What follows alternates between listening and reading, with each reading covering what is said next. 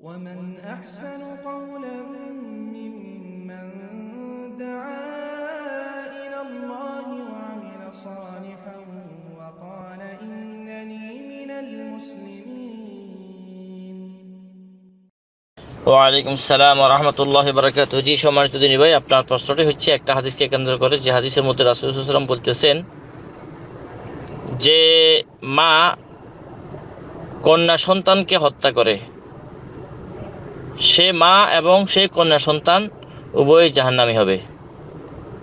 মা জাহান্নামী হবে বোঝা গেল, কিন্তু নিষ্পাপ শিশু কন্যা সে কেন জাহান্নামী হবে?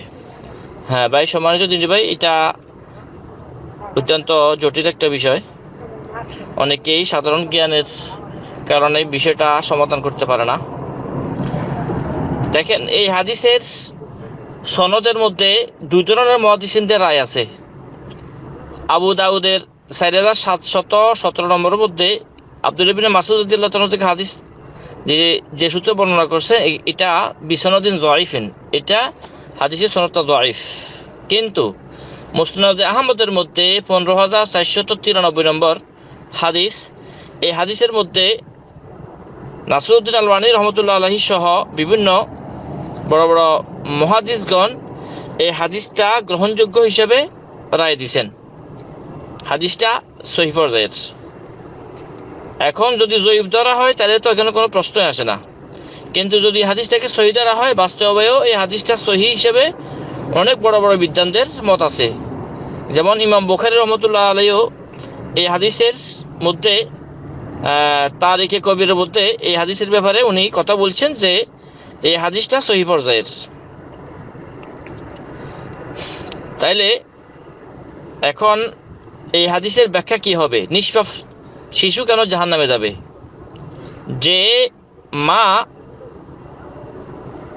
তার জীবিত কন্যা শিশুকে হত্যা করছে, সে দুই কারণে জাহান নামে যাবে। এক তো হচ্ছে জাহেলি যুগতে শিরিক অবস্থা মারা গেছে, বা যদি নাকি মুসলিমও হইয়া থাকে বর্তমান সময়ে কেউ, তো সেও এই অপরাধের কারণে সে জাহান নামে যাবে। কিন্তু নিষ্পাপ শিশু শিশু কেন জাহান নামে যাবে? জি ভাই এটা একটা বিচ্ছিন্ন ঘটনা এবং এটা নির্দিষ্ট ঘটনা। এই নির্দিষ্ট ঘটনার সাথেই এই বিধানটা। অর্থাৎ যেই মা হত্যা করছে, সে জাহান নামে যাবে মুশিকা হওয়ার কারণে। আর যে মা উদা অর্থাৎ যে জীবিত কন্যা শিশুকে হত্যা করছে, সে জাহান নামে যাবে। এটা রাসুল সাল্লাম আল্লাহ ফাকের পক্ষ থেকে বিশেষভাবে জানতেন। এই জন্যে। এই হাদিসটা বোঝার জন্যে আপনাকে আরেকটা হাদিসের সহায়তা নিতে হবে।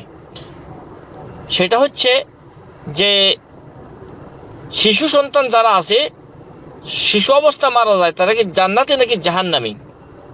তো এই বিষয়ের উপরে যে ওলামা ইকরামদের মধ্যে মতপার্থক্য আছে। বিশেষ করে অমুসলিমদের যে বাচ্চা, যারা শিশু অবস্থা মারা যায়, তাদের ব্যাপারে যেই ফয়সলাটা হবে, তাদেরকে এমতেহান করা হবে। অর্থাৎ তাদেরকে পরকালে যে প্রশ্ন করা হবে, তখন তারা উত্তরে বলবে যে, আমরা তো দুনিয়াতে নাবালক শিশু অবস্থা মারা গেছি, দুধের শিশু মারা গেছে, আমরা তো কিছু বুঝতাম না। যদি নাকি আমরা দিন বুঝতাম, তাহলে আমরা অবশ্যই মেনে- মানতাম। তখন বলা হবে, ঠিক আছে, তাহলে তোমাদেরকে একটা পরীক্ষা করি। তখন প্রজ্বলিত আগুন তাদের সামনে রাখা হবে। আর বলা হবে যে, তোমরা এই আগুনে প্রবেশ করো। তখন এই পরীক্ষাটা মূলত পাগল যারা দুনিয়াতে ছিল তাদের ব্যাপারে এবং একেবারে বয়োবৃদ্ধ যারা কিছু বুঝতো না দুনিয়াতে তাদের করা হবে এবং যারা অমুসলিমদের ঘরে শিশু সন্তান অবস্থায় মারা গেছে, এই তাদেরকে, এই কয়েক শ্রেণির লোকদেরকে পরীক্ষা করা হবে। তখন বলা হবে, এই আগুনে তোমরা প্রবেশ করো। তখন এখানে দুই ধরনের লোক হয়ে যাবে। এক ধরনের লোকে বলবে, যেহেতু আল্লাহর নির্দেশ তাহলে আগুন হলে আমি ঝাঁপ দেবো। তাইলে এরা এই পরীক্ষার মধ্যে কি ফাঁস? তারা জান্নাতি হয়ে যাবে। আর এক প্রকারের হয়ে যাবে, যারা বলবে, এটা আগুন, আমরা কীভাবে আগুন প্রবেশ করব? তারা যাবে না। তারা আল্লাহর বিধানের লঙ্ঘন করবে। তখন এই পরীক্ষাতে তারা ফেল হওয়ার কারণে তারা জাহান্নামি হবে। এই হচ্ছে এই হাদিসটা বুঝার জন্য সর্বপ্রথম মোকদ্দমা বা ভূমিকা। এখন আসেন। রাসুল সাল্লাহ আলাইসাল্লাম নিজের থেকে কিছু কথা বলেন না। ওমায়ান্তিকু আনিল হাওয়া। ইনহুয়াল্লা ওয়াহি ইউহা। নবী পবিত্র অনুসরণে কিছু বলেন না। যা বলেন ওহির মাধ্যমে বলেন। তাইলে যে জাহিলিয়তের যে ঘটনাটা এখানে উল্লেখ করছে এই ঘটনার মধ্যে রাসুল সাল্লাহ সাল্লাম সকল যে নাবালেক শিশুর ব্যাপারে জাহান্নামি হবে এটা বলা নাই। বরং এই ঘটনার মধ্যে যেই মা ও শিশু, এই দুই মা ও শিশুর ব্যাপারে নির্দিষ্টভাবে রাসুল সাল্লাম বলছেন, জাহান্নামি হবেন। আল্লাহ তালা জানা দিয়েছেন যে এই সন্তান ওই পরীক্ষার মধ্যে ফেল করবে বিদেশে জাহান্নামে যাবে। এখন এই হাদিসটার আমি এবারটা আরবিতে পড়তেছি। আন আলকামা আন সালমা ইবনে ইয়াজিদ আল জফি কলা ইংতালাকতু আনা ওয়াহি ইলা রাসুলিল্লাহ সাল্লা সাল্লামা কল কুল্লা ইয়া রাসুল আল্লাহ ইনে উম্মানা মুলা ইকা তাকানা তাসিলুর রহিম এখানে দেখেন যে হাদিসটা শুরু হয়েছে আলকামা থেকে আলকামা বর্ণনা করছে সালমা বিন ইয়াজিদ আল জফি থেকে। তিনি বলেন, আমি এবং আমার ভাই রাসুল্লাহ সাল্লাহ আলাইসাল্লামের নিকটে গেলাম আর বললাম, হে আল্লাহ রাসুল, আমাদের মা মোলাইকা, তিনি আত্মীয় স্বজনের সাথে সদাচরণ করতেন, সম্পর্ক স্থাপন করতেন, মেহমানদারি করতেন তাকরিজ সাহেব মেহমানদারি করতেন ওতাফাল ওতাফাল অনেক অনেক ভালো কাজ করতেন। হালাকাত ফিল জাহেলিয়াতে, তিনি বড় বড় যুগে মারা গেছেন। ফাহাল জালিকা নাফি হুয়া সাইয়া এই ভালো কাজগুলো তার কোনো কাজে আসবে, উপকারে আসবে? কলা, লা। তখন রাসুল বললেন, না জাহালিত যুগের এই সমস্ত ভালো কাজ তার কোনো কাজে আসবে না। বল না কানাত ও আদাত উখতাল্লানা ফিল জাহেলিয়াতে, ফাহাল জালিকা নাফি হুয়া সাইয়া হ্যাঁ আমার মা, সে আমার এক বোনকে, শিশু শিশু বোনকে সে জীবিত হত্যা করছে। জাহালিয়াতের যুগে সেটা কি তার কোনো উপকারে আসবে? অলা আলওয়া ইদাতু ওয়াল মাউউদাতু ফিন্নার। আলওয়া ইদা যেই নারী হত্যা করছে শিশুকন্যাকে। এবং ওই হত্যাকৃত সে শিশুকন্যা এই উভয়ই জাহান নামে যাবে। তাইলে এই হাদিস দ্বারা বুঝে গেল, মা সন্তান দুজনই জাহান নামে যাবে। এখানে আল আল দুই জায়গাতেই আসছে আলিফলাম আলিফলাম তাহলে এটা যে কোনো ধরনের যে ব্যাপক আকারে অর্থ নেওয়া যাবে, এই সুযোগ নেই। বরং এই ঘটনাকে কেন্দ্রিক রাসুল সাল্লাহ সাল্লাম এভাবে বলছেন, এই ঘটনাকে কেন্দ্র করে। তাই এই মা এবং কন্যা সন্তানের ব্যাপারেই জাহান্নামের কথা বলা হয়েছে। সকল যে শিশুদের ব্যাপারে এটা বলা হয় নাই। ইল্লা আন তুদরিকা ওয়াইদাতু আল ইসলামা ফাইয়াফুল্লাহু আনহা। তবে যদি নাকি এই মা যে শিশুকন্যাকে জীবিত হত্যা করছে, সে যদি মুসলিম হয়ে যায়, তাহলে আল্লাহ তালা তাকে ইসলামের কারণে তার আগের গুণা ক্ষমা করবেন।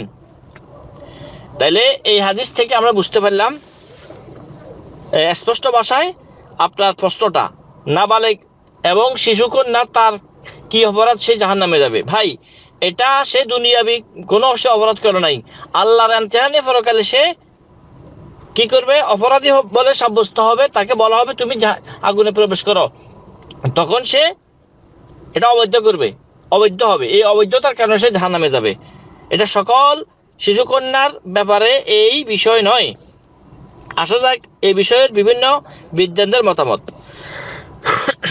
ইবনুল কাইম ওনার আহকাম হালি জিম্মার দ্বিতীয় নম্বর খণ্ডের পঁচানব্বই খ্রিস্টের মধ্যে করে বলেন, আল জবাবে সহিহু আনহাজ আল হাদিস, এই হাদিস থেকে সঠিক উত্তর হচ্ছে, আন্না কাউলাহু ইন্নাল ওয়াইদাত ওয়াল মাউউদা ফিন্নার যে মা এবং শিশুকন্যাকে হত্যাকারী মা এবং শিশুকন্যা জাহান্নামে যাবে, এটার থেকে উদ্দেশ্য জবাবুন আন তাইনিক আল ওয়াইদা ওয়াল মাউদা আল্লাহ তাইনি সুইলা আনহুমা।